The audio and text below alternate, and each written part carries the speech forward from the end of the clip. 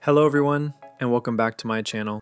If your Windows 11 or 10 system feels bloated, slow, or filled with unnecessary apps you never use, it's time to clean up the smart way. In this video, I'll walk you through how to debloat Windows using PowerShell without breaking your system. Let's get into it. What is debloating? Debloating means removing unwanted pre-installed apps, telemetry services, and background processes that eat up your system resources. But doing it manually or without the right precautions can break things. That's why we're using a trusted PowerShell script. Always back up first, then open PowerShell with admin rights.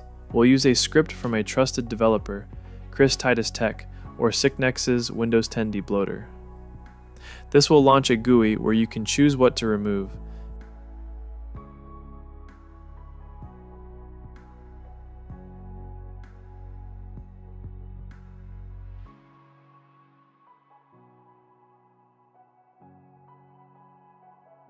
Don't just blindly click everything. Remove Xbox apps, OneDrive, telemetry, and ad services, unless you actively use them. Here are my recommended removals for most users. Make sure to note them down in case you miss it. You can always rewind the video. Xbox related apps, OneNote and other UWP bloat. Telemetry services. Suggested apps and start menu ads. These are the apps you should not remove.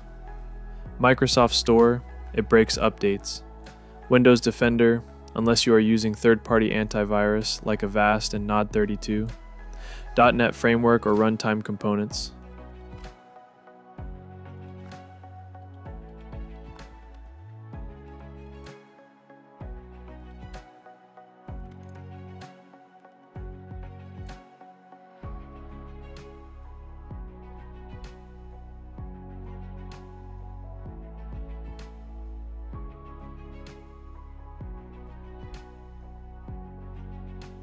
Once you're done, hit apply changes and reboot your PC.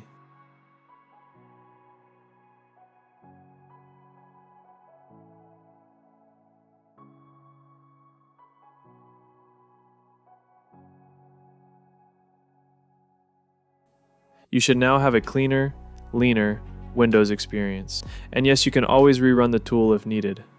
So that's how you properly debloat Windows using PowerShell. No shady tools, no registry damage, and full control. If you found this helpful, hit like, and consider subscribing to my channel for more advanced tips like you can always request the type of content you would need by contacting me via my email which will be pinned in the comments. See you in the next video.